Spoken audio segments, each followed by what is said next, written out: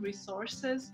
With our projects such as Surface, we support Greener Europe, and moreover, in our new program, in line with the European framework, we will also continue supporting Greener Europe.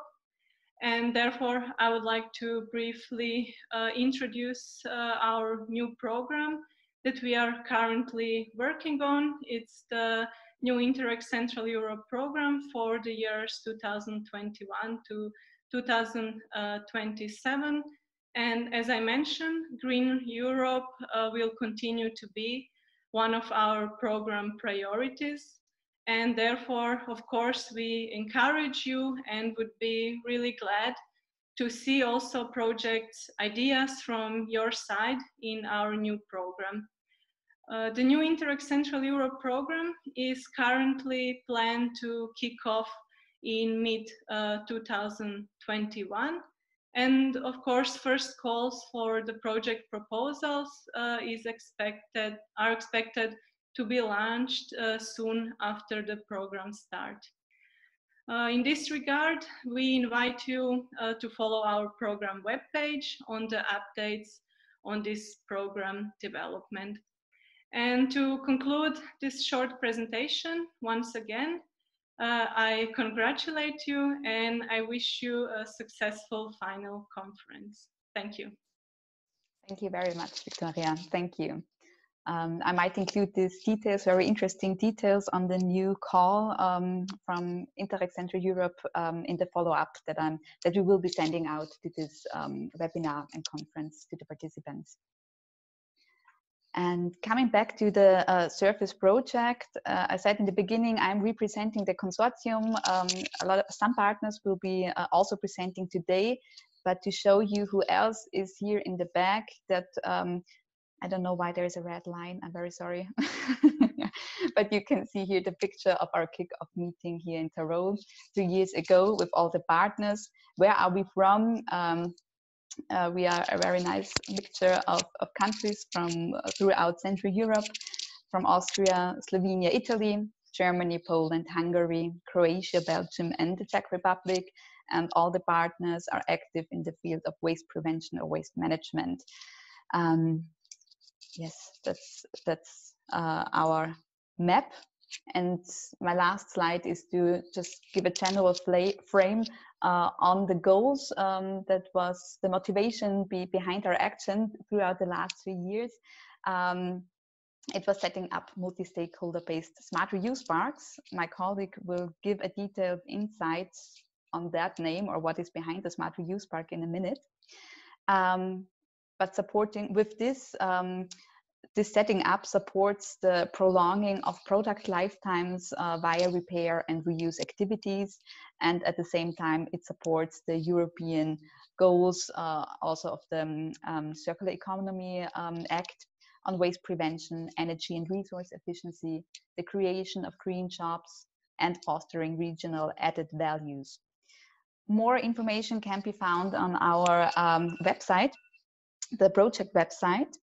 Um, but this would have been from my side uh, the very short introduction. And now I would like to give the floor to Christian Leonhardsberger from the Waste Management Association and, and company ZAK from Germany. Christian, I will stop sharing my screen now and you can try to start sharing yours.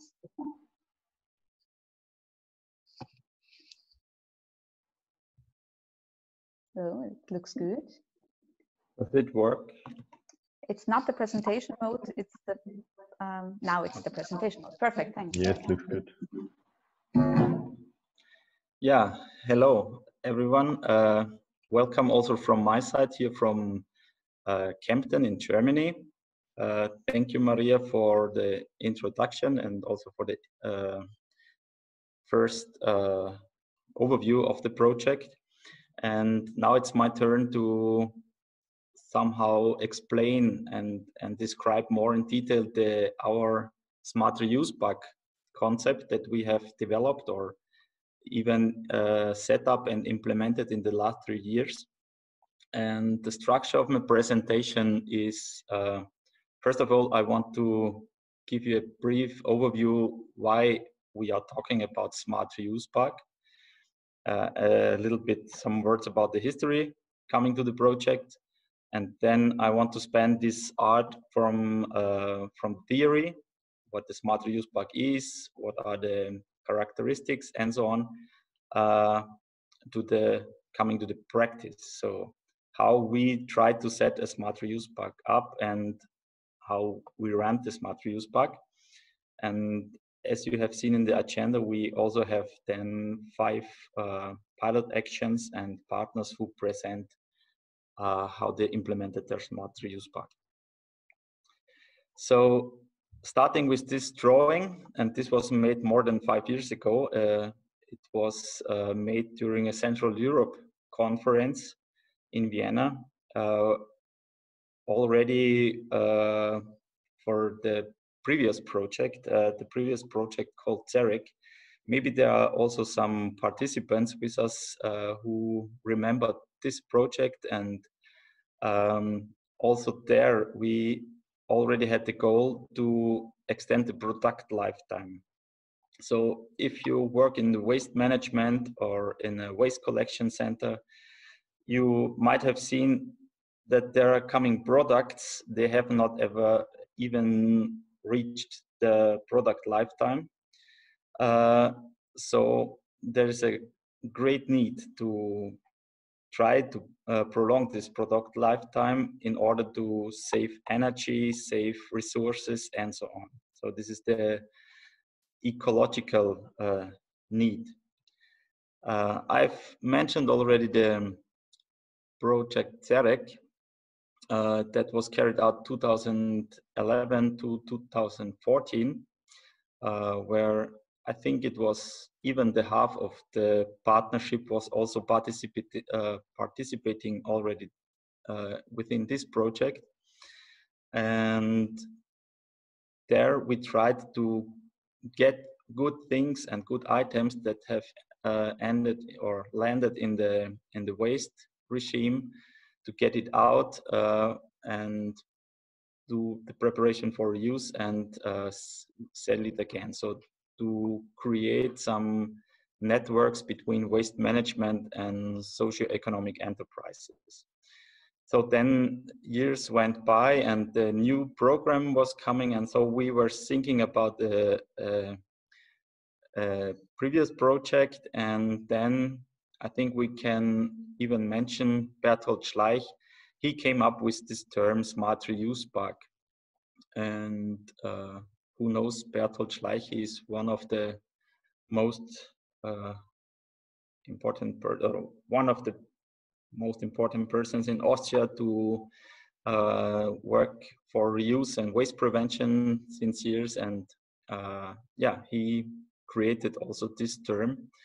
Uh, and uh, I will explain what it means also in a few seconds. So there was also, uh, when we talk about needs, there was also the need to have a more uh, innovative approach uh, compared to, to the CERREC project. And uh, of course, there's also a, a legal need. Uh, of course, you know already very well this waste hierarchy uh, with these five uh, measures. And the first two priorities, uh, here you can already find very prominently also reuse and reuse and repair measures. so reuse is, can be outside the waste regime, but it's also, as I've explained before, uh, within the waste regime uh, and very prominently that you can take it out and prepare it for use.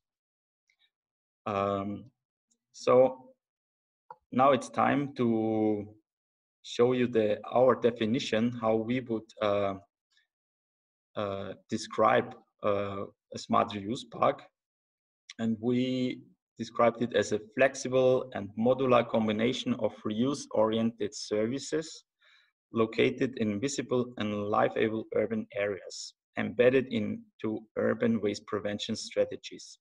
So, and more or less, it's it. So, what a smart reuse park should be is a, a an area, a site uh, where more than one uh, activities or services are provided. So below you see uh, a certain list, what it could be, but I will talk about uh, services and activities later on more in detail, but there's quite a big range uh, within reuse and repair and sharing economy and so on.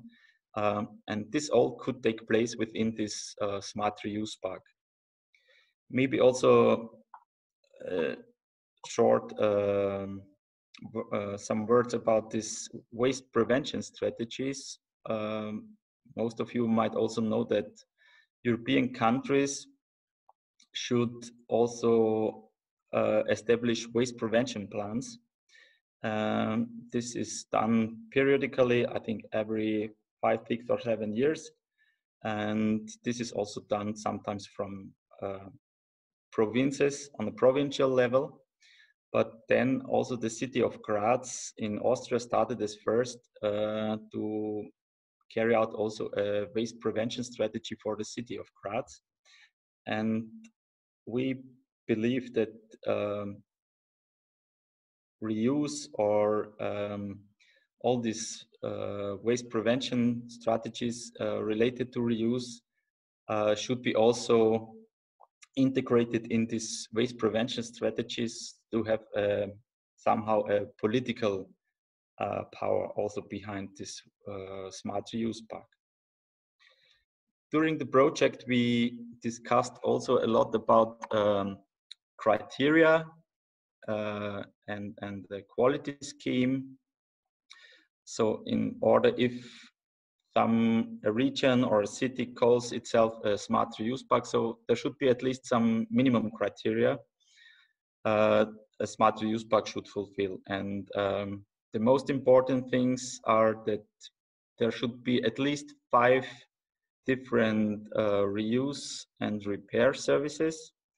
And also there should be three different actors. I will also talk about actors later. And some further criteria are social, economic, and environmental impact of these actors and services. So if you are thinking about incorporating or taking up some, some new activities, you should always think about their social, economic, and uh, environmental impact, so the sustainable impact. I've mentioned already the, the high range of uh, activities. Uh, of course, as we know, reuse and repair has also a high potential for creating new or green jobs. Um, then we also said that it we should we don't want to exclude someone from this reuse park services. Uh, everyone should have access to it, and in my point of view, also uh, to raise awareness is very important. So if we want to bring this sustainable lifestyle to, to the citizens, uh, we also have to address pupils or even adults with educating or uh, uh, bringing them some events where they can learn about reuse. Um, we also, it's as we were nine partners uh, all over Central Europe uh, with very different uh, um, conditions. So we found that there are uh, three different approaches what a park could be. When we started the project, it was not um, clear, even within the partnership, what does it mean a park? And so uh, we with it also here it's very flexible uh, and depending on the conditions like we see here in in germany from ZAK or atm in tyrol um, there uh, the companies and project partners are operating for 48 or 104 municipalities so it's clear that also this smart use park also covers the whole area but even in Sieme from Vicenza, choose this approach with uh, this region-wide uh, park definition. But also we have partners who define the function urban area uh, for the city, like in Ljubljana, like CPU does, or BZN for Budapest. Uh, and you will also see later on this presentation from the partner of Toruń. A park could also be uh, a premise, a building, uh, like here. It was a former um, agricultural estate, and there the buildings are serving for uh, for workshops, for selling reusable goods, and so on. So now I want to give a short and brief overview about the different services we have uh, found during these three years and that have been also applied. Of course, it's reuse uh, related services to collect uh, reusable things at the waste collection center or you use a reuse box that is given to the citizens and they can collect at home and bring it to collection points. Of course, there is uh, the preparation for reuse where you clean, test, uh, or make small repair until you bring it to the reuse uh, shops. Then there is also a great variety of, of repair services or activities depending mainly on your own skills or depending on uh, the problem you have. If you're very well uh, skilled, you can even rent the rooms with with machines and tools and uh, in uh, for carpenters or sewing machines where you repair some furnitures or clothes. Um, very prominent and very uh, strong movement is also this repair cafe movement, uh, where you get some instruction from uh, experts. They help you to repair your things. And there's also a good chance that you offer a professional uh, repair network or via a repair guide, for instance, that the citizens and the people uh, get some information where they can bring their things to be repaired. Within the last years, also the sharing economy is strongly rising. Uh, so you can borrow and rent uh, several things from machines, tools, uh, books, or everything. So you don't have to own it. You can also use it uh, here you can also see a shared open space or you can also do car sharing, etc. Further services might be uh, upcycling, fabrication laboratories, food sharing and saving, uh, as well as events and educational program. Uh, on the left side, you see a picture from the yearly reuse conference in Graz. Uh, yes, some few words about the actors within a Smart Reuse Park. You see that I have mentioned that within a Smart Reuse Park, you should have three, at least three actors. And uh, no matter where they are coming from, could be associations, from waste management associations, uh, socio-economic enterprises, private profit, from the society or private non-profit um, yeah, it, we believe that uh, the more actors you have, the more stable it is, and you the more uh, activities services you could provide. This is only an idea how you can structure and organize uh, your smart reuse park. As my time is running out, I also want to spend some few words about how to set up a smart reuse park as my title of the presentation is about. Uh, and here you can see some tools we have also established during Surface. And these tools will be presented more in detail on Thursday during the second webinar. And here I just want to highlight that it is very important at the beginning that you have a clear picture and an overview what you have in your portrait region or area. Uh, so you can make this uh, decision metrics or cooperation metrics to see how are the conditions, uh, which actors you have already, and then it's good to get in contact with with your actors and stakeholders and commonly develop the goal.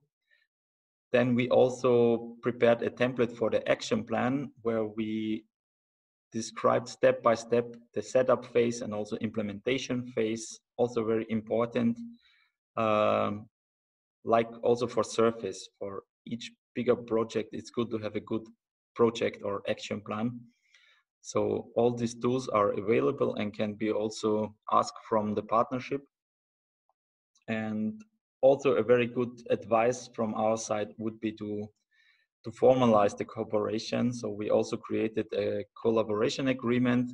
This is a template where you can describe also how you want to collaborate within the smart Use park to get all these actors together also in terms of finances and so on. And finally, as it was also in the, to make it visible, was also in the definition already. Here you see some examples, but they will also follow later on uh, how you can do it. And like here in Austria, they created this noamol platform in here in Kempten it's called ZAK Marktplatz, where also all services and actors are displayed, and also here in Ljubljana. So this was a very fast and short introduction to uh, setting up a smart reuse park and also what it is. I hope I could give a good overview. Uh, and if there are still questions, you can even ask uh, in the chat or you have here my contact details for any questions. Thank you for your attention. Thank you, Christian. I think this was a perfect overview and uh, also perfect introduction for the um, um, presentations that will now follow. Johannes, could you please start sharing your screen to um, present the Smart Reuse Park, the, the pilot action from Austria? Um, Hannes is the project manager here at the Waste Management Association Mitterrand, and uh, he will present now the, the details uh, of our platform. Hannes, can you start sharing your screen? And maybe also unmute yourself. Perfect, I see. It's starting. Mm -hmm. And also just as a, um, as a hint for the participants, um, you might have seen that the chat function, it works as a general uh, chat, but you can also write personal messages uh, to every participant in, in this meeting. So for example, you can also uh, ask Christian Leonhardsberger directly a question there or every presenter that follows now. And also because there was a question at the beginning, um, why this is recorded. Um, it's on the one hand for documentation purposes, but at the same time, we will upload this video on the uh, project YouTube channel, just to let you know, but you will receive a follow-up email with this information as well. So Hannes, the floor is yours. Okay, can you see my desktop? Perfect, screen? yeah. Yeah, okay, super. okay, like uh, Christian mentioned, I will continue with the presentation of our smart reuse park here in Austria. Um, we are located in the center of Tyrol, in the middle of the huge mountains. So we have a population from 400,000, almost 400,000 people. We have 104 communities. The biggest is Innsbruck with 150,000 inhabitants and we have almost 170,000 private homes in our functional urban area in our region here in Tyrol. Um, our aim to develop the smart reuse park was a virtual space. Since in the area here we have already a lot of stakeholders and a lot of um, small and medium enterprises, as well as social economic uh, partners. We don't want it to make uh, to to make one more of this of these shops, stores, or of this um, kind of um, businesses. We wanted to show what's already here. So our aim was to make a virtual space um, for promoting and making visible all the stuff that's already going on here in our region. So since a lot of homepages and virtual platforms of the social economic enterprises here in the area was from maybe the 19th, the 1990s, so a little bit old school. Um, our aim was to make a brand new platform for all this um, state of the art mobile phones, smartphones, tablets, and whatever in future will be following. So our aim is to make a platform that's totally mobile and totally for the younger generation. Um, the main thing of our platform is the map. Like you can see here, every stakeholder that got to do something with repair, reuse, secondhand is marked with this location pin here. Um, ah, and I need to tell noamol is a dialect word and means can you use it one more time? And that's our main mission, our main um, mission statement. Use it one more time. So here is all the stakeholders marked where you can use stuff one more time. Buy stuff that's already used and the more lightly uh, location pins that are events like second-hand markets or this one would be a repair cafe um, so all things that's just an event are more bright and the other ones are um, fixed locations for repair upcycling and reuse. So you can choose whatever you like to do with your secondhand stuff swapping sharing donating passing on buy. There is also um, locations for education and know-how exchange borrowing renting and also repairing upcycling yeah so this is the main thing this map um, our approach was compared to booking.com and to um, for example, um, yeah, like Booking.com, they don't even own an own hotel. Um, they just share it and communicate it. So we have a lot of actors involved, like I told, a lot of activities going on already, like collection, preparation, sale, repair, rental, upcycling. And we wanted to support it, make it visible, make a network for all of these actions. Um, our SRP, yeah, like I told, the visibility is in the focus, the networking, and um, the operation is we have a reuse manager for the content and coordination. We have a programmer that keeps the platform online, and we have a social media manager to keep the virtual world on date. Yeah, we have a lot of activities, like I told, several repair cafes, reuse shops, rental shops, food sharing initiatives, fab labs, open workshops. And on the picture here, you see the repair cafe, how it is happening here in Tyrol. And one, one major step was here at the IKB, one of our partners in Innsbruck. They um, they have been um, making possible the reuse bike bicycle collection. So uh, used bikes can be um, put at this re reuse corner at the local recycling facility. um, I think this is easy to copy paste in the whole region. And it's almost no space and almost no money for this for this pilot action. Yeah, as I mentioned, website platform is important, social media is important, um, posters at the recycling bin, and also we make a cinema promotional spot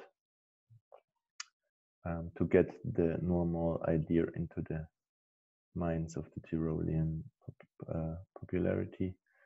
And the next steps are take cooperation forward, more partners, more actors, more actions, enlarge the radius of the platform. We already um, have contact with South Tyrol, Italy, Germany, and start a bigger awareness rising campaign like cinema, advertising, and lifestyle magazines. And the networking events should be um, growing, and there should be more than two or three in the year, maybe. Um, or three month one workshop for all the stakeholders. Thank you for your attention. Thanks, Hannes. Um, thanks for giving the insight and into this example of a virtual space located Smart Reuse Park. Next, uh, Agnieszka Kieper, the project uh, manager from our Polish partner, will present details on their Smart Reuse Park in Poland. Agnieszka, would you um, start sharing your screen, please? Yeah, yeah. Hi, everyone. Agnieszka is from um, Kujawsko-Pomorskie uh, in uh, in Poland, and we are That's looking right.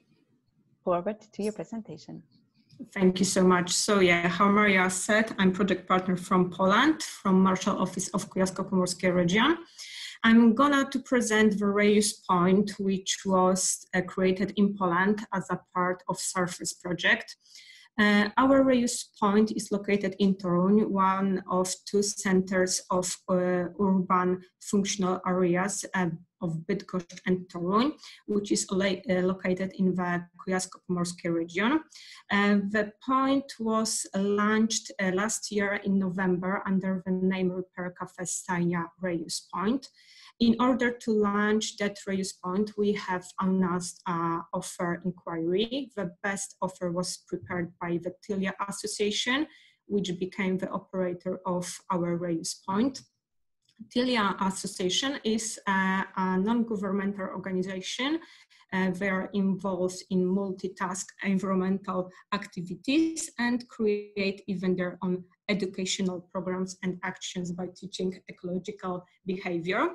And their task was to create, launch, and carry out activities at the point.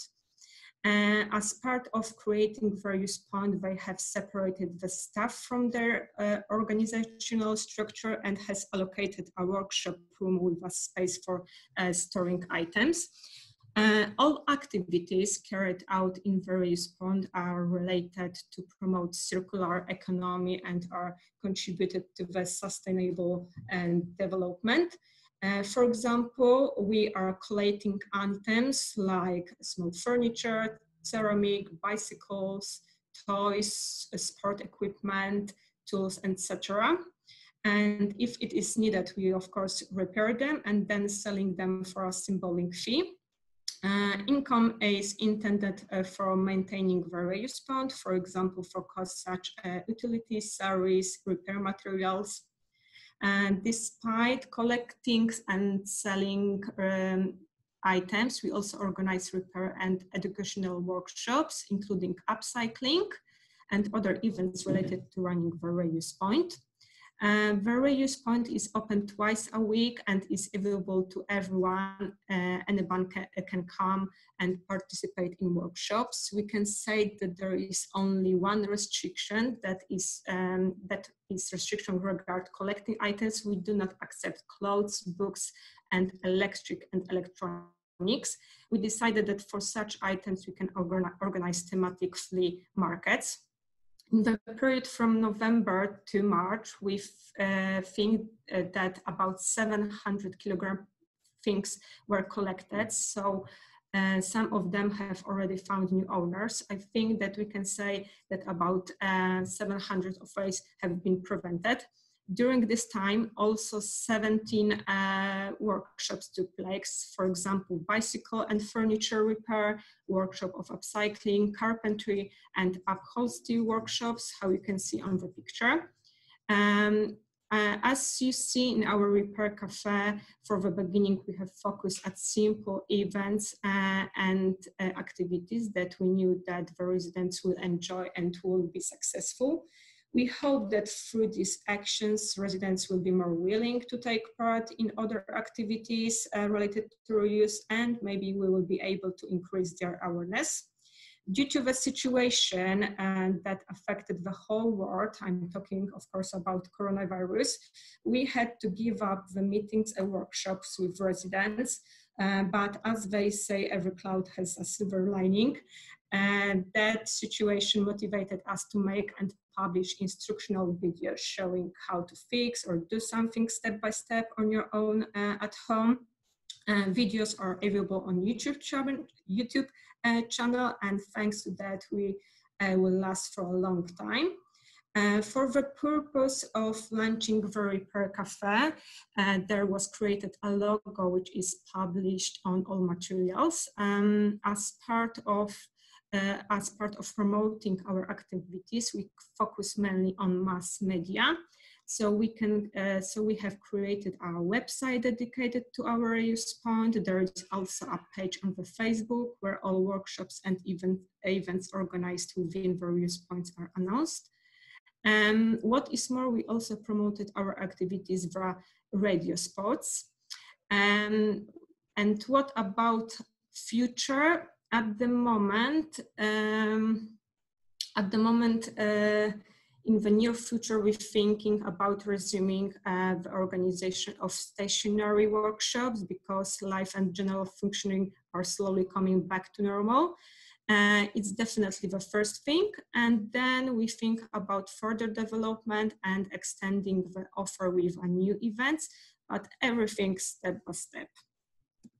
Thank you very much. Thank you, Agnieszka. Uh, you're perfect in time and um, next one would be uh, from Germany, Claudia Meyer, to um, present to us the characteristics of the Smart Reuse Park in, in the German region. Claudia, would you uh, please start sharing your screen?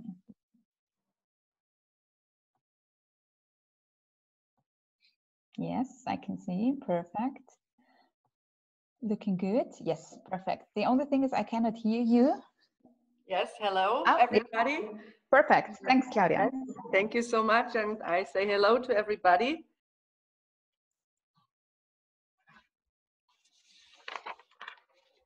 Now, our SRP is located in beautiful Allgäu, which is between Austria and Switzerland, very close to Lake Constance.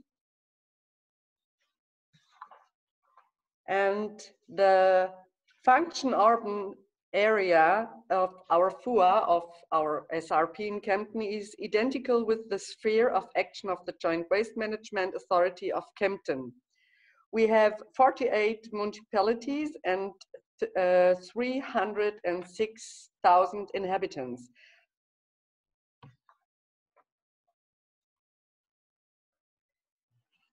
ZAK is the head and leading organization thus ZAK manage, manages and supports the SRP development.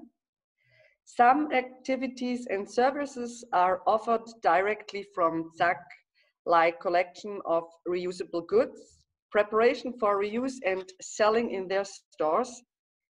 In certain cases where ZAK is not running the activities itself, ZAK holds a share or giving funds to actors like Unternehmen Chance in Lindau and Lindenberg, Kempodium, and so on.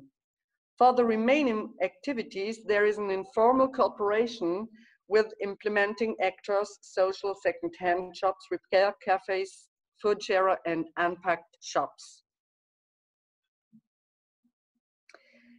This slide is a share of actors in our SRP and that the biggest group is represented the private profit sector that is due to the number of professional repair companies.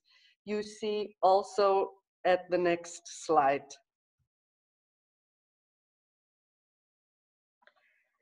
Now you can see our other activities and services in our SRP. We have eight reuse collecting point, points, uh, 13 reuse shops or centers, repair cafes, a fab lab, uh, two food sharing initiatives, one open workshop, two rental shops, and 43 professional repair companies and uh, online platform. It means ZAK Marketplace. Nothing works without public relation. At ZAK, we serve different publicity measures. And you see, we have an online platform, we have posters, different flyers from our ZAK box and our marketplace.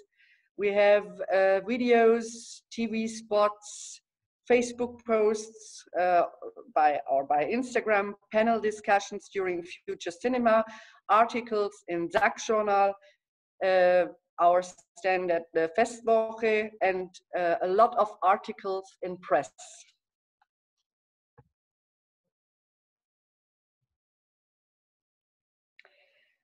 Now we are proud that two weeks ago, our new recycling center with a second-hand store in Sonthofen has finally been opened. 4.8 euros were invested. Eight, eight employees are employed in the used goods department store and around 10 employees are employed at the recycling depot and the waste transfer station.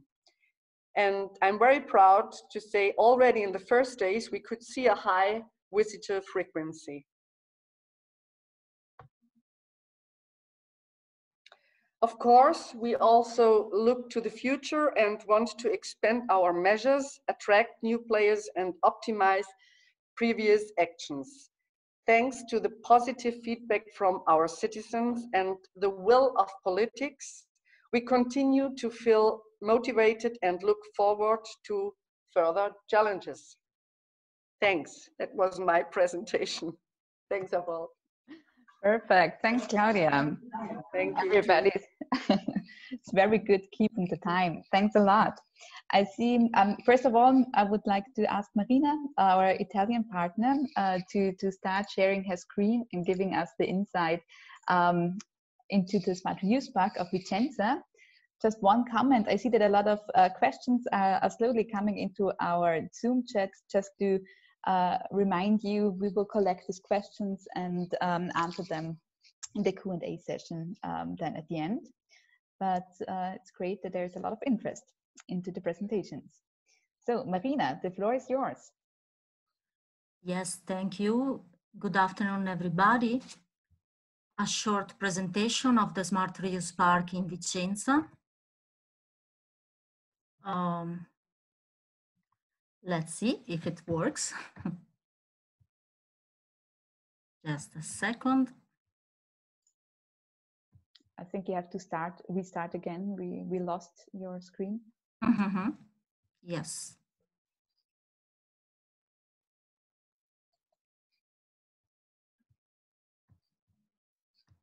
So um, screen. Yeah, okay, it's starting. Sorry for no worries seconds lost. Yes, it so, should be working now. Welcome to Vicenza. a short presentation of Cooperativa Insieme, that is the partner number five of Surface project.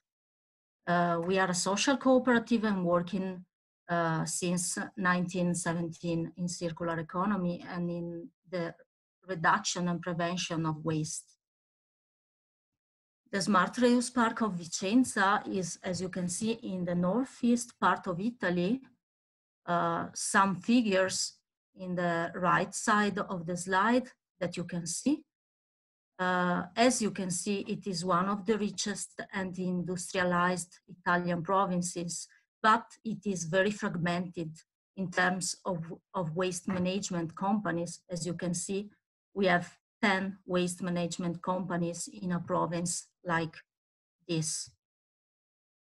So the Smart Reuse Park in Vicenza is for sure a, a physical area. This is the headquarter of uh, Cooperativa Insieme. Um, but it is also a virtual space because, as uh, Christian mentioned before, we tried to be physical but also networking and um, and virtual uh, connected to other subjects all around the province of Vicenza. Uh, we lead four shops all around province, uh, second-hand shops, and we uh, manage two plants of preparation for reuse. And above all, during COVID, uh, we focused on the online market. These are the actors or the, the main stakeholders of the Smart Reuse Park. As you can see in the gray spots, uh, we have the, um, the advisory board of our Smart Reuse Park that are the experts helping us to develop uh, the Smart Reuse Park all around the province that are associations among uh, which Legambiente is one of them, helping us to develop the smart reuse park. And then for sure, the public sector, the municipality of Vicenza, that is the capital city of the province, and then the main waste management company of the province and the one managing the waste of the capital city of the province. Our twinning partner, as you can see, it's another waste management company coming from another city of the same region of Vicenza, uh, which name is Contarina. As you can see, we have a lot of stakeholders and actors, and we, with every one of them, we try to uh, develop activities within Surface project in the green spots all the level the levels in which we have to be very active uh, to develop a coordinated uh, plan of uh, prevention and reduction of waste through reuse and preparation for reuse. A picture, a picture um, describing the sort of connection, collaborations that we have with all the stakeholders. As you can see, the citizenship is the box in which we work. They are the main donors, the main customers, and the ideal owners of the Smart Reuse Park. And every activity we do is intended in this uh, way, that the citizens uh, are the owners of the Smart Reuse Park. Uh, as you can see, we work with the public sector with tenders, obviously, but we are always looking for public-private partnerships that we think uh, are the strongest tool to develop a coordinated strategy on the environmental matters. Um, current and future activities, uh, we use this table that we defined within the Surface project as you can see in the um, reuse activities related to waste prevention, so we are in the first level of hierarchy, uh, we developed these activities. Some of them are already existing, some of them are planned in the short, medium term. Uh, the picture is about a colleague of mine. Um, this is a video, a, um, a Facebook and Instagram uh, video that uh, Anna, uh, my colleague, made to teach to the people how to recognize good quality shoes, second-hand shoes. Talking about preparation for reuse, as you can see, this is the, uh, the core business of Cooperativa Insieme and of our um, Smart Reuse Park. All the, uh, uh all the activities shown are already existing, we are uh, quite uh, rich because we uh, manage two preparation for reuse centers. We are talking about uh, uh, the first one is 900 square meters, and this is the picture of it. And the other one is 500 square meters, more or less. And then we uh, manage four second-hand shops uh, and uh, now, up to now, a very strong uh, e-commerce market. Uh, as you can see, the uh, last activity is the preparation for a use collection in the waste collection centers. This is a model we fulfill and we look for every time we win a tender in which we are able to manage a collection center. One minute, Marina. yes. About education and training, you can see some activities we are already running or planning. And the last part, introducing the PR and communication part, talking about the events in which we invest a lot. So technical or political events, a lot of trainings for employees to be updated on the procedures for reuse and preparation for reuse, but above all, a lot of activities of communication for the people, for the citizens. So some picture, some provisional figures uh, we are preparing for the final um, infographics of Surface project. Some pictures of parties on the collection centers we manage, like this. Concerts in the reuse uh, shop. Meetings, uh, conferences, uh, and uh, similars in our conference room and a lot, a lot of events, public events for citizens. These are all flyers of the events during the year. Last thing, we really think that environment and social go together, so we keep on developing activities promoting this combination. And thank you. Perfect. Thank you, Marina uh, for giving us this detailed insight. Um, we are more or less very good in time, but um, I would like to, to ask our last speaker um, in the first half uh, of this webinar. Um, it's um, Peter Krapak from uh, Hungary, based Sultan. Peter, I would like to ask you to share your screen. Yes, I can see. It's yes, can you see it? Can you hear me? Everything is okay? Everything perfect. The floor is yours, Peter. Uh, I try also try to uh, start video. Can you see me even? Okay, great. Okay, uh, hello everyone. Uh, I would like to give you a short introduction of the Hungarian Smart Reuse Park that we have developed together uh, with our partner here in Hungary. Uh, the FUA is a functional urban area which is already presented by Christian. This is the area where which is the affecting or, or uh, the area where the citizens are living that could contribute or to work or to uh, cooperate uh, with the smart reuse park.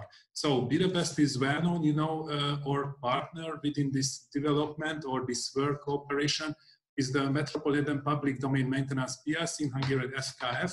They are responsible for the municipal waste collection uh, and management of the Budapest.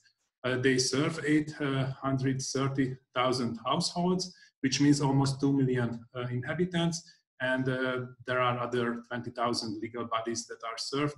They also own the one and only Hungarian municipal solid waste incinerator in Hungary with an annual capacity of 400 kilotons. Uh, they also have got uh, 16 waste yards where people, citizens can bring uh, their waste and also they have got uh, 400 curbside collection for uh, selective uh, waste uh, packaging waste collection. And also they operate two landfills. What is interesting from uh, reuse aspect is that they have got two awareness raising reuse centers. Um, what you can see here in the picture, uh, sorry, going back. this is you can see on the map that it's quite not an unfavored location uh, in the in the map or the, the area of Budapest. Um, it's more or less on the on the outer uh, downtown uh, city of Budapest. Uh, they uh, have got such uh, main dedicated aims like acting as a reuse center, also acting as an educational center, and they also act as a waste yard for selective and hazardous waste, uh, municipal waste uh, collection. what, how we started this cooperation at first, uh, we identified the common goals uh, of FKF and the project surface. What can we do together, which will be a win-win situation both parties. And after that, we formalized these intentions uh, by a jointly signed cooperation agreement. within this agreement, our first technical step was to uh, identify the strengths and weaknesses, opportunities and threats that could uh, be uh, listed within this cooperation and towards the, the implementation of a smart reuse park. what I highlighted is four strengths is that they already had educational activity and also uh, their activity uh, highly supported by uh, CSR corporate social responsibility and environmental responsibility. Uh, meanwhile, uh, oppositely, the uh, weakness was that was no preparing for reuse activity and also the curbside bulky waste collection where you might be familiar with, it is quite a big problem because when or once the municipal waste collector goes to this uh, bulky waste on the street they have been already um, let's say uh, excavated by, by uh, illegal activities which uh, take off the useful precious materials out of these uh, products and, and items.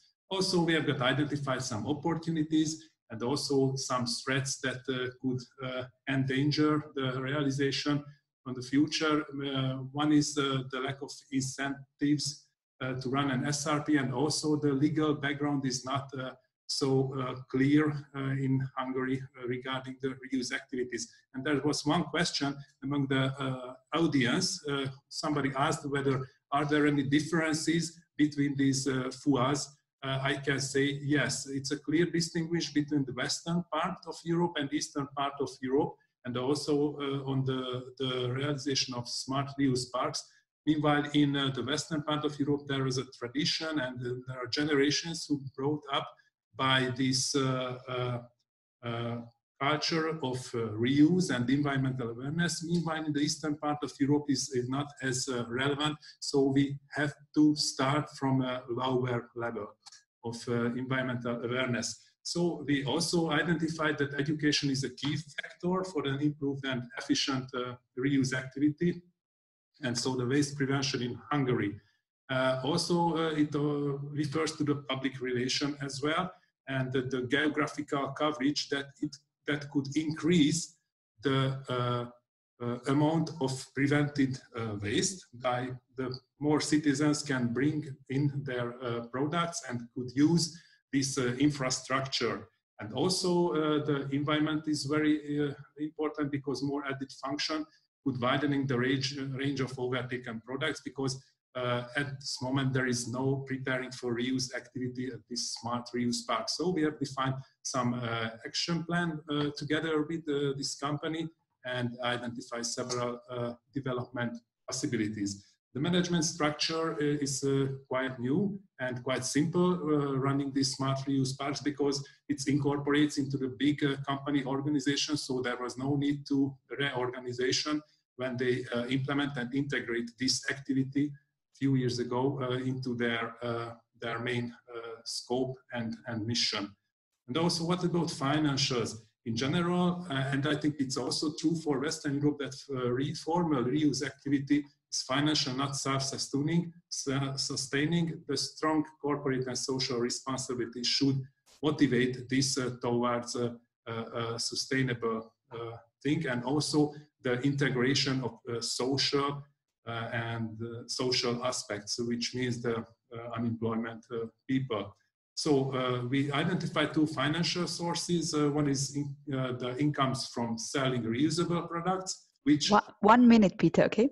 Thank you. Okay, which only partially covers the cost, and other external fundings, which at this moment there is no uh, such cost that could uh, subsidize or we could combine uh, to uh, finance this uh, activity. So what we have already done, we uh, put emphasis on the education and, and the raising awareness. So we made several common appearances and cooperation like Researchers Night, you know, it's an EU initiative as well as the European Week, for Waste Reduction is the last November every year, and we also uh, workshops on reuse potentials and stakeholder knowledge. And well, we also uh, uh, organize together with the reuse-related logistic training because logistic is one of the other issue when you run a smart reuse park, how you can manage the things there and how you can get those things into this uh, facility. Uh, we also, due to the COVID situation, we organized an online campaign namely be the ambassador of reuse, which where we targeted young generation. And also we uh, composed uh, some surface story videos that you can find on surface uh, YouTube channel. There are also uh, other some illustration of these activities and what are the future plans. We uh, uh, aim to further cooperate on environmental awareness raising for waste prevention and also adoption of a discussion forum beyond the surface uh, and we give you more uh, detailed information on uh, Thursday presentation. So, and well, which is very important, also the knowledge transfer to twinning partners, twinning actors, when we can fertilize this idea and all of the know-how we gathered, we collected, that we can uh, give uh, them for a, a, more effective realization. So, and of course, uh, as I mentioned, the financials looking for further financing. So um, thank you for your attention. This was my presentation. Thanks a lot, Peter. Very interesting. A lot of pictures, and I think we got a real good insight. And thanks also for um, already answering a first question out of the of the general chat. Um, okay, looking at the time, we a bit behind schedule and might need to skip our um, our coffee break. Although I think I would like to give you two minutes, uh, everybody, so you can get new water, maybe get some fresh air, and uh, two minutes. In the meantime, um, I will ask um, Juha to, to start sharing uh, his screen, and maybe we we test uh, again shortly your presentation. And I have seen that also Zala in the meantime joined us. Um, perfect. Hi, great to see you. Um, so you are in one minute we will then start with, with your presentation, but everybody shall get the, the quick possibility to, to get some water. It looks good. Would you like to try your microphone? Yes. Do you hear me? Perfect. Okay, perfect. So one minute, okay? Then then okay. Uh, okay. we will start.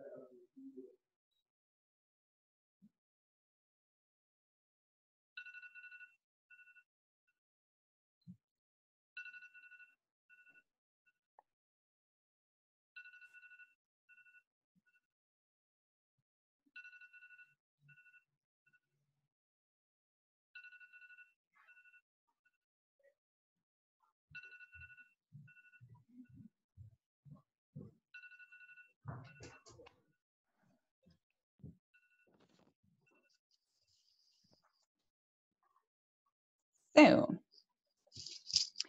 we are back.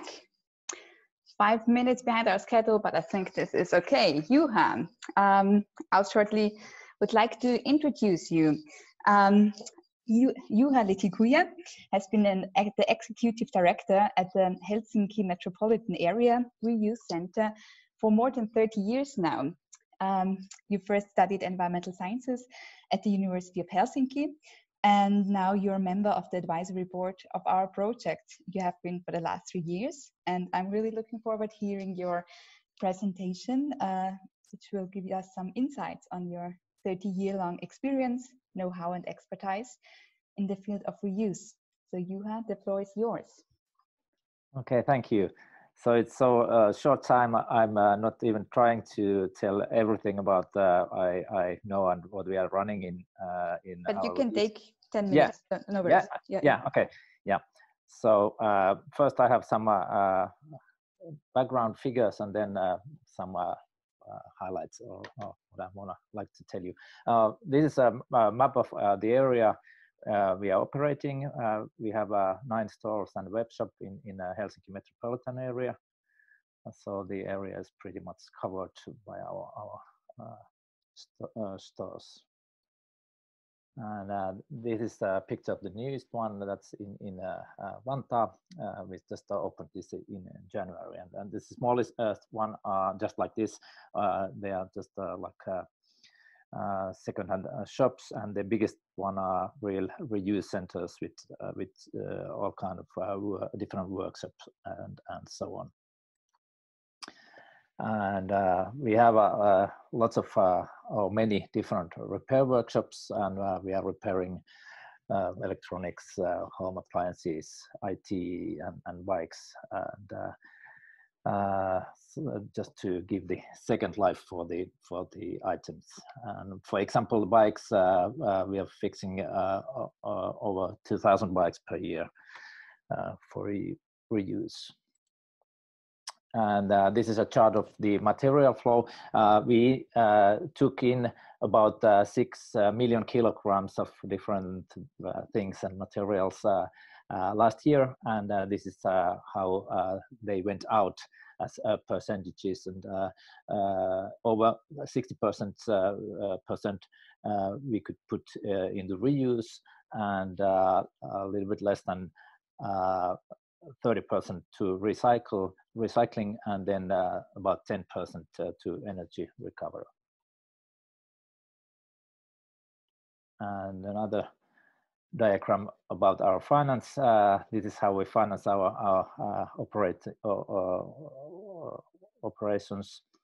Uh, the total finance was uh, financing was uh, around 15 million euros last year, and two thirds came from our own turnover, basic or basically from our shops and a little bit from selling some services also, and almost all all the uh, rest uh, came from uh, from the cities and the government subsidies of, for weights.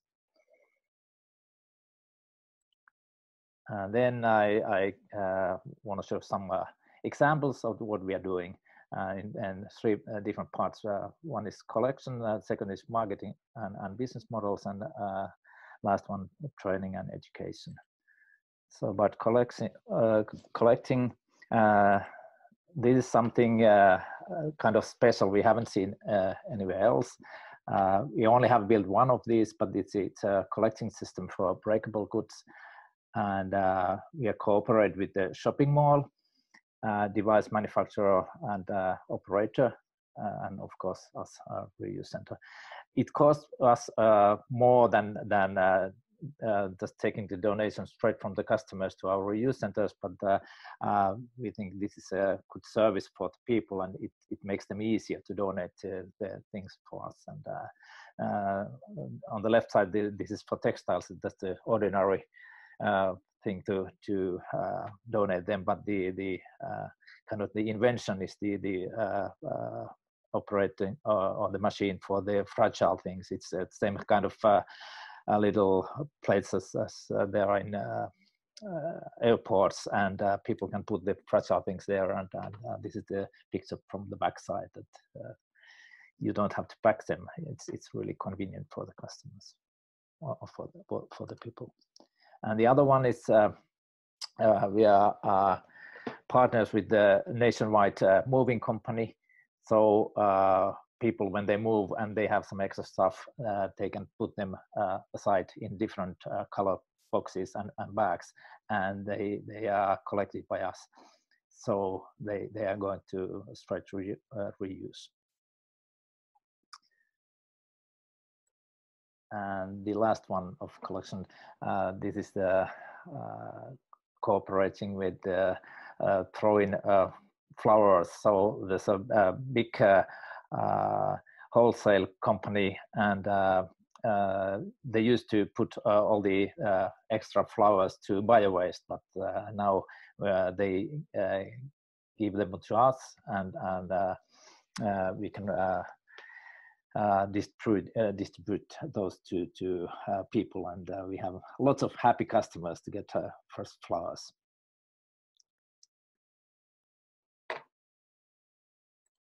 Okay, and second part uh, making secondhand cool, different ways and business models. Uh, this is uh, one thing uh, we haven't seen many in, in, many many places. Maybe in Ireland uh, there was something similar. Uh, this is our own ecological handicraft thing, and we can almost everything that it's it's not reusable. we can still use it as a as a material for handicraft. And it's uh, it was also this uh, uh, um, service was picked by Sitra as one of the most interesting companies in in circular economy in Finland, and it was this service. And as I said, any items that cannot be resolved can be repurposed as, as a craft material. And uh, this is a, a picture of uh, one of our stores. So we have these kind of departments there in, in our store where we are selling the, the uh, material. And uh, also we have like a free ho uh, wholesale. Uh, we give the craft materials to, to free of charge to NGOs and daycare centers and schools. and we have a program uh, for parties like birthday parties and and uh, also for companies. They they uh, have their uh, well-being days or events. Uh, and these are some examples like uh, from a from a bank company. They they they came and make made these hobby horses and and then they these were donated to children's, children's hospital and also uh, some people from our Ministry of Education made some nice books. And uh, we are not doing uh, all that by uh, ourselves. Uh, we are also cooperating, uh, for example, prisoners, they, they can do some of the job in manufacture and packaging. And another one is a plan uh, B, that's our own brand. Uh, we kind of uh, turn quality reused fabrics into upcycled uh, clothing and accessories, furniture and furnishing. And also like uh, we give uh, items for free of charge and in our stores, the, the departments for, for the free items, they are quite small, only one percent of of the uh, the, the uh, like the area, but uh, uh almost like uh, twenty percent uh, by volume and and by item by by the the quantity, almost like thirty percent we are given for free. And what we have found that it doesn't you know it doesn't we, we don't lose uh, in, in, sales that uh, the more we are uh, sharing uh, uh, items free of charge, the better we are selling. So these are not like competing with each other. And lastly, some uh, some slides about training and awareness raising as we want to uh, make uh, our secondhand stores that they are uh, not stores, just secondhand stores, but the center of a sustainable lifestyle. I think that's like a smart reuse park basically the same idea. And uh, uh, we have made our, our stores uh, kind of learning environments for, for children also. And then we have this in in our uh, stores we have uh, this uh, quality wardrobes in in three big stores. We are telling the people what kind of things they should look at when they are buying clothes. So that because we all know that uh, low quality clothes are really difficult to put in reuse. And this is the what it looks like in in our uh, store the wardrobe itself and uh, then we have this uh, calculator of, of uh, saved resources and uh, all the customers when they they come to us uh, in each receipt cash receipt uh, they are giving the estimate how much they saved the natural resources when they purchased that thing and that's compared if that thing would be replaced by a purchase of a new item. And last uh, last year, uh, like the total amount of uh, was only almost uh, fifty four uh, thousand tons of, of uh, saved natural resources.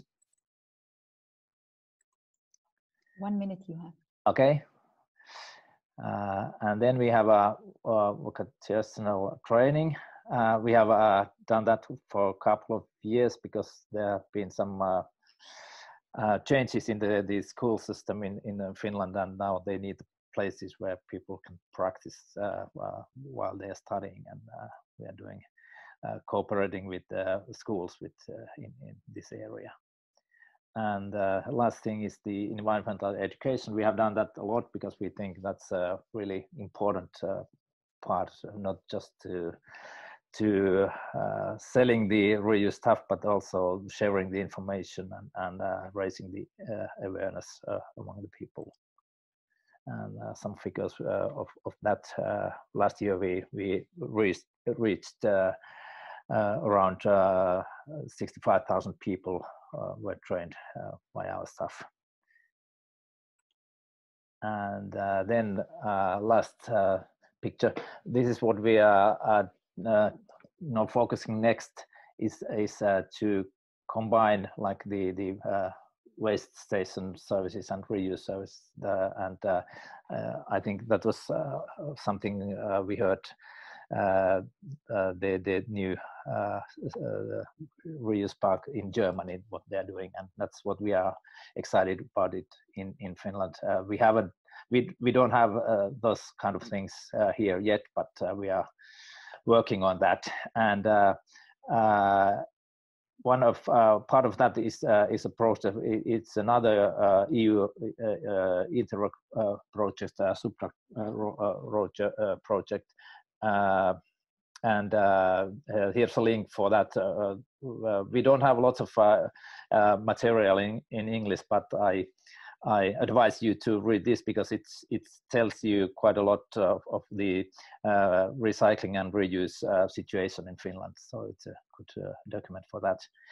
And then uh, other point I want to uh, make is is uh, we have developed a web store and other online services really fast during this COVID time, and and that's something maybe if you have to uh, or want to find something positive of, of these times, it's it's an opportunity to to uh, take huge leaps uh, in in an area like this.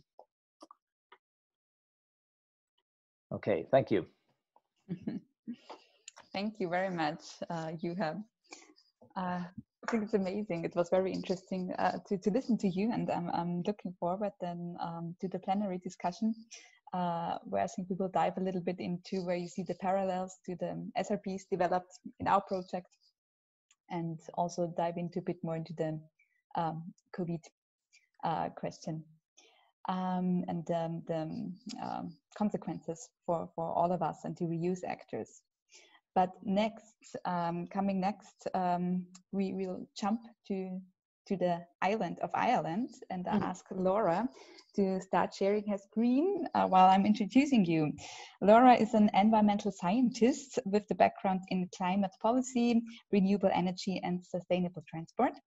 Uh, in your current role, um, Laura works um, on research regarding reuse and circular practices in Ireland, and she also supports the implementation of circular business models through the Rediscovery Center Circular Economy Academy mentoring program. That's a long sentence. uh, and you also work on national and international environmental policy and the sustainable development goals. Laura, looking forward to your presentation. The floor is yours. Thanks very much. Um, yeah, we don't call ourselves, the Rediscovery doesn't call themselves um, a smart reuse park, but I think we would actually tick quite a few of the boxes. And I, I'll just give you a bit of an overview of the different parts of the work that we do because we do have quite a varied uh, and diverse background of work. Um, and just to start, maybe where we come from, we are an NGO but we started off um, as a regeneration project. So we're based in Ballymun, which is a suburb of Dublin um, in Ireland. And this is the way Ballymun looked in the late 1990s. It was it wasn't quite later, unfortunately, still is uh, quite an un, uh, disadvantaged neighborhood. There was a lot of concrete, very little green area. The flats that you can see there, the towers didn't have any waste separation. People wouldn't have to pay for their um, for the waste or their energy, their electricity, because it was social housing. So when the government and the city council decided in the late 1990s that they wanted to regenerate the area, um, one thing that the citizens actually pointed out themselves was that they didn't just want social and economic regeneration, they also wanted environmental regeneration. And uh, this is where the Rediscovery Center was born, pointing out to the need to bring in the, the three pillars of sustainable development, so environmental, social, and, and economic. And just to give you a very brief overview of the journey that we've had. So since the decision to actually start the regeneration um, and the setup of the Rediscovery Center, we have started in 2004 um, to set up the Rediscovery Center. In 2005, we started with education, and that was very much surrounding the whole how do you separate your waste, how do you, you know, keep your bills lower, just because people moved from the flats into new built houses, but they wouldn't have known how to use any of the services that people might normally maybe know how to use.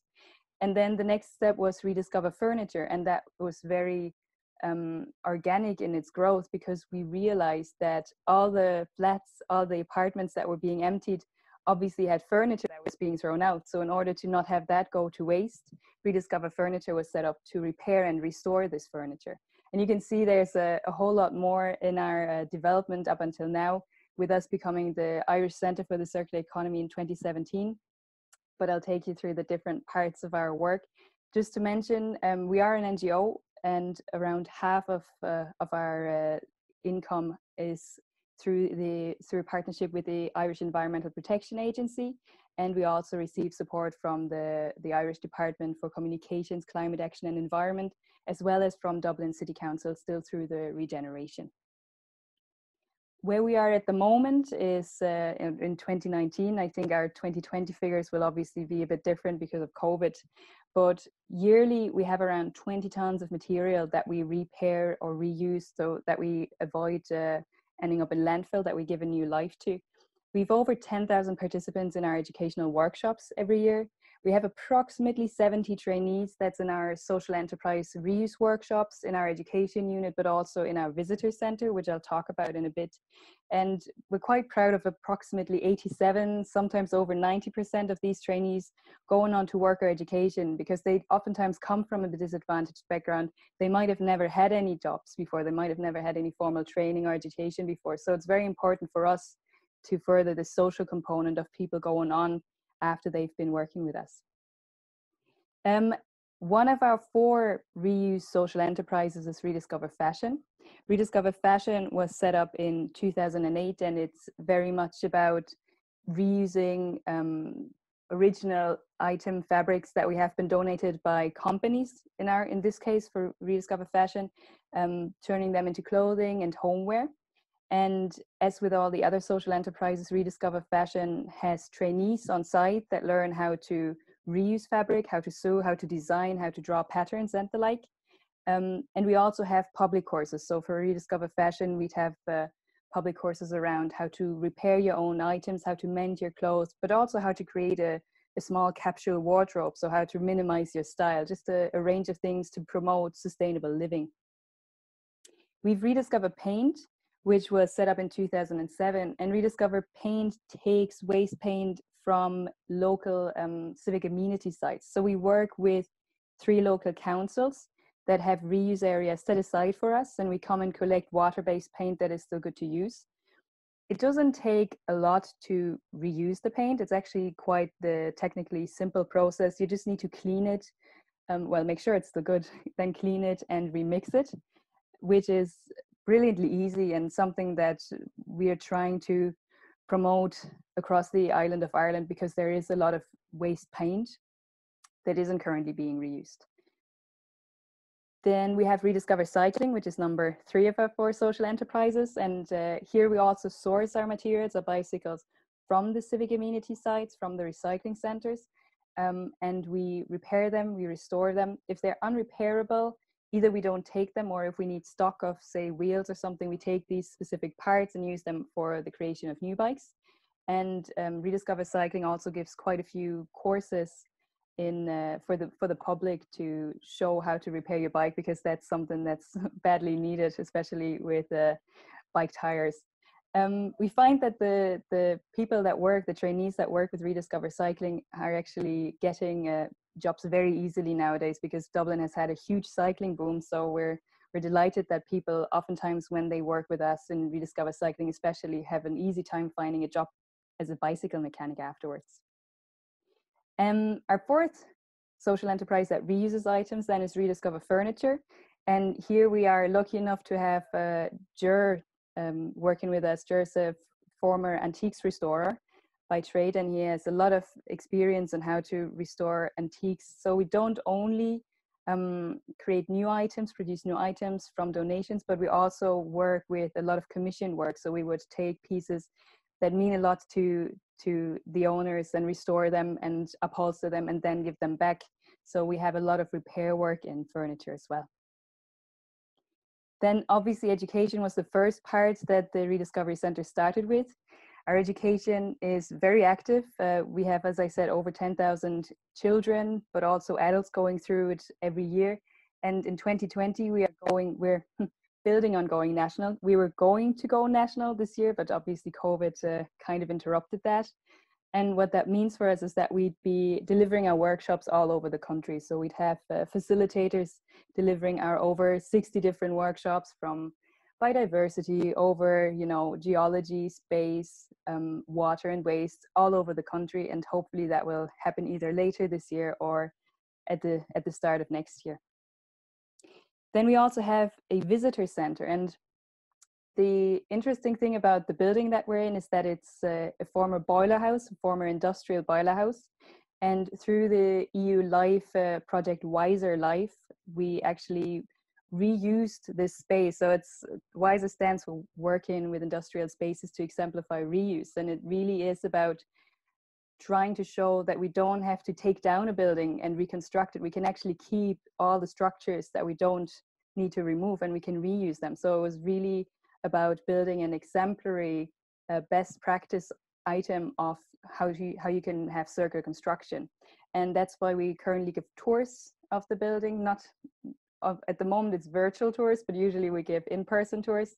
Um, we also have quite a few green walls, solar panel installations. We have our own closed water circuit where we clean our water on site. So there's quite a few things that we'd uh, show on our tours. And we also have an eco store on site where we sell all the items produced in the workshops, as well as around 40 other Irish designers that sign up to the same sustainability ideals. And we have a, a circular cafe that's working on being as circular as possible. So sourcing the, the food from the garden that we have and other community gardens and trying to avoid all food waste as much as possible.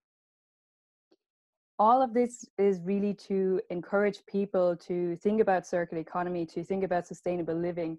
We have a lot of conferences and uh, public events. As much as we can right now, we've very much switched to webinars and uh, online meetings that aren't quite as exciting but uh, we try to get people interested um, in a circular lifestyle, but also to normalize it so that it's you know reuse and and secondhand and repair are something that people think is normal. One Um, minute, Laura. yeah, thanks. I'm almost done. So we're also working on research and policy, and you can see the the few different steps of the building on the top, so where it started and where it went. Um, and yeah, we do policy analysis specifically on circular economy policy, unsurprisingly.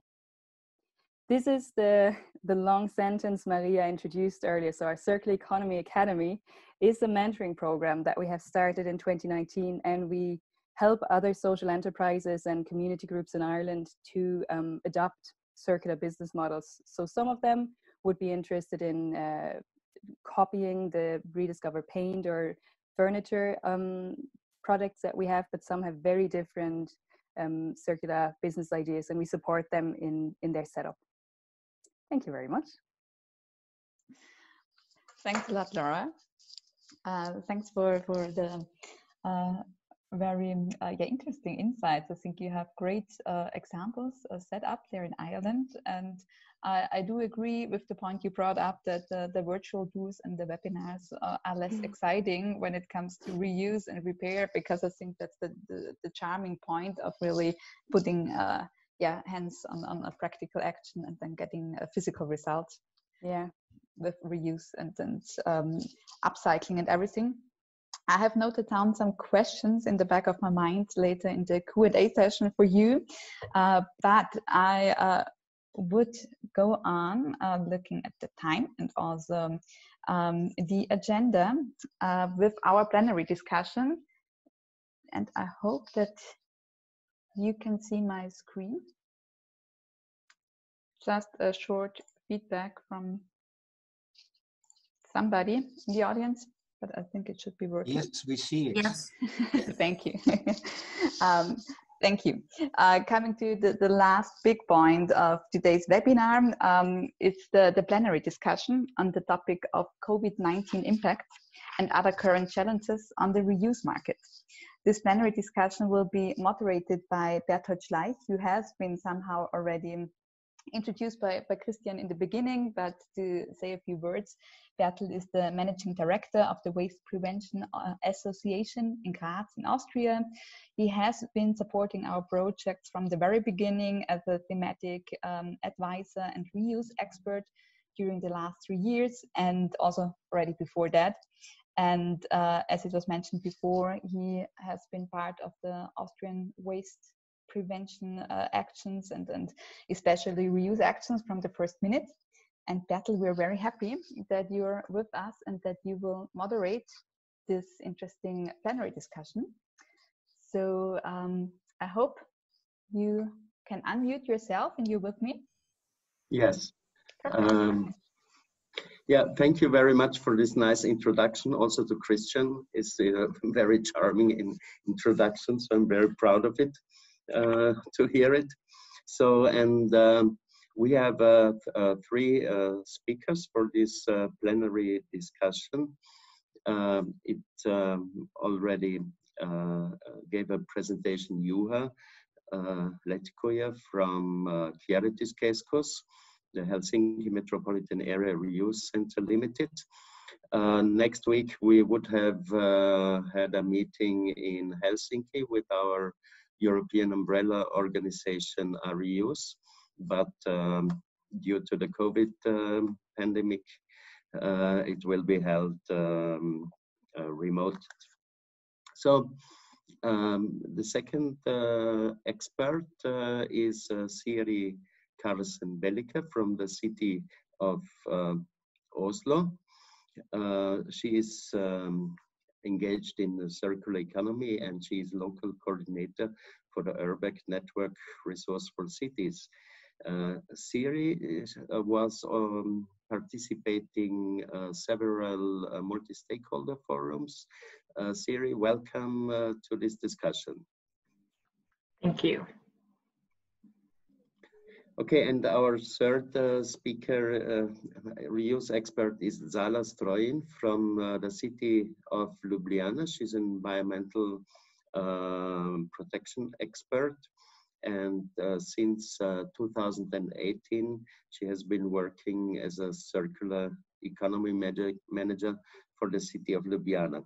Hello, Zala. Welcome uh, to this uh, discussion. Hello, and thank you for having me. Okay, uh, we have prepared uh, some uh, questions uh, for this um, um, discussion.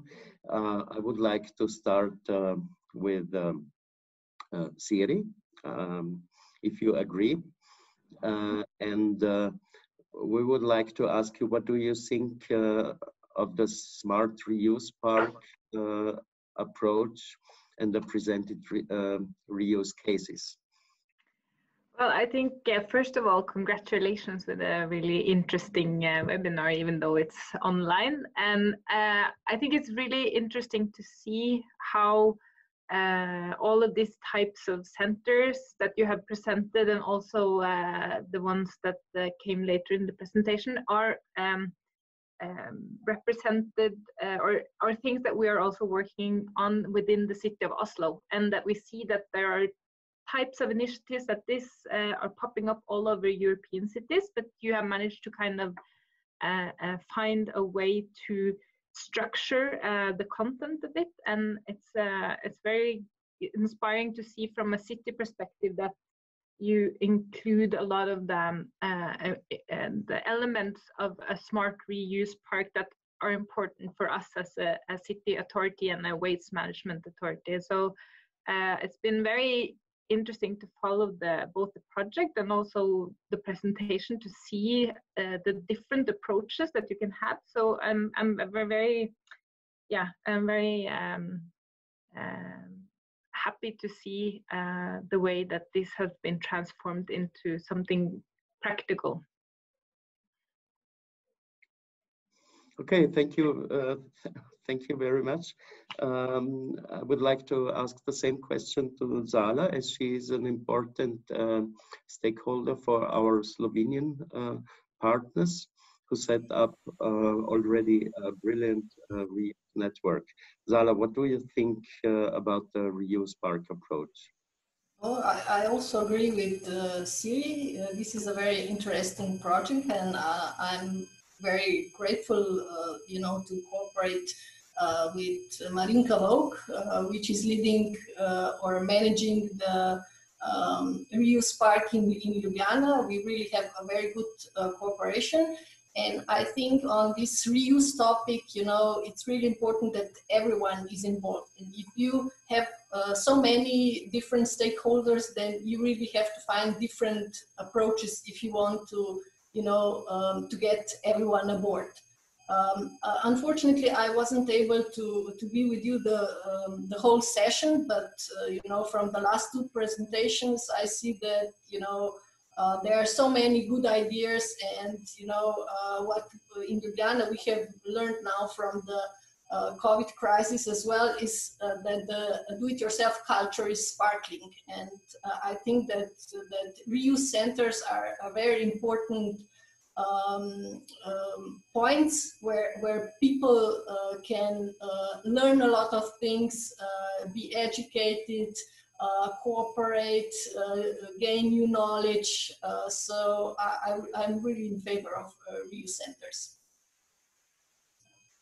Okay, thank you very much for this uh, uh, impression. Um, Juha, um, the last uh, uh, months were very difficult. How did you um, manage uh, these impacts uh, from the COVID-19 crisis for your organization?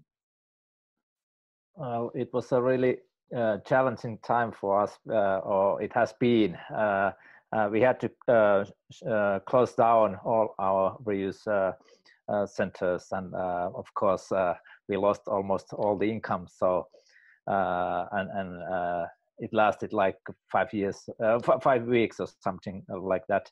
But gradually, during the May, we we could uh, reopen uh, uh, all our uh, reuse centers. The last ones, the smallest one, we uh, just opened last Friday, and uh, and since there are not no strict strict you know rules for people for not going out and, and visit the reuse centers. we have had even more customers than what we expected when we uh, opened. But uh, still, uh, it has been tough time, and uh, uh, uh, I, am not sure how we're going to manage because the the financial support that the like the Finnish government they have they have uh, and I, I, I expect that in, in every European countries uh, it has been the same that the governments they have put quite a lot of money to to support the the business uh, to not to uh, fall down but um, but uh, so far we haven't got any any uh, subsidies uh, for this situation but uh, well it seems that we can survive but but it has been quite a challenging time.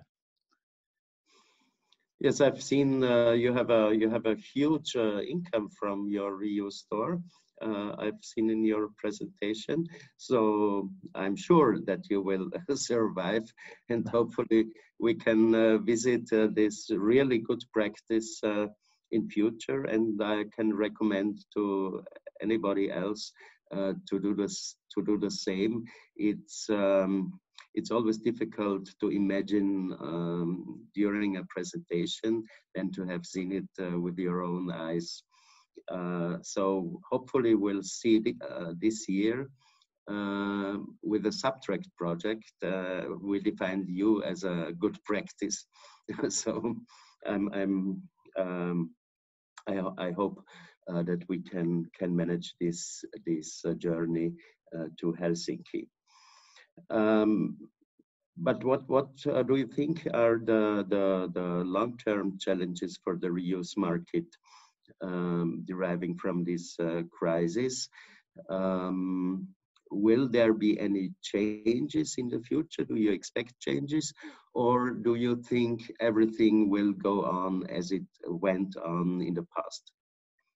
Uh, well, I don't think that because uh, people, uh, it, uh, at least it seems to me that people they have used to you know different uh, uh, types of, of uh, action and uh, like uh, like uh, I, I, don't think that uh, uh, even that like like the new normal of of having meetings would be different than before. That these online meetings would be quite common even even after the the COVID uh, um, epidemic uh, uh, passed and uh, and also as we have seen the the huge uh, grow in in uh, online selling so that's something it will stay even in in second hand market i i believe.